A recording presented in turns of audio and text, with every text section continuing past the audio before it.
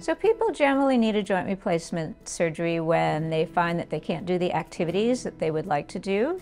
And that can be even just walking. People have difficulty with walking, going up and down stairs. Um, sometimes it's just the things, you know, bending down to be with their grandchildren. And in the joint replacement, we replace the parts of the bone that have the arthritis or are affected by whatever condition the person has, where the cartilage just wears away and you have bone. So you have bone on bone, and that's a very painful condition. With the joint replacement, we remove that bone that is touching the other bone, and then you have a smooth surface again, and you can really go back to all the activities that you were doing before pretty much. Hip and knee replacement surgeries have been um, done for decades and every year we get better in terms of research and innovation, in terms of executing the surgeries, in terms of the materials that are used. Uh, and this just translates into improved or increased survivorship of these implants. Robotics have many benefits in terms of hip and knee replacement.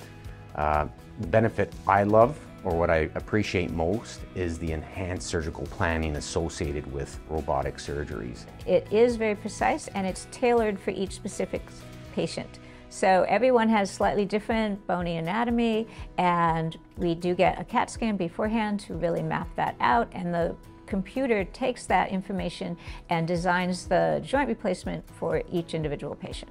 The precision with robotics and the uh, real-time information I get about the soft tissue tensioning and balancing of the hip and knee replacement leads to reduced pain post-op, reduced opioid consumption, reduced blood loss, better function, and this ultimately leads to overall patient satisfaction. I think the Mako robotic system is really great new technology that really helps us make good decisions as surgeons on how to do the surgery.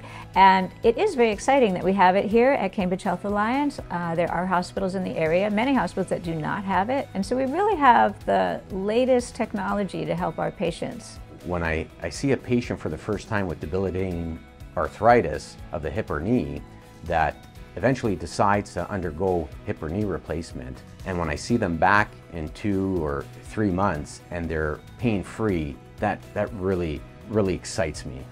And it, it makes me feel good about what I'm doing as a surgeon.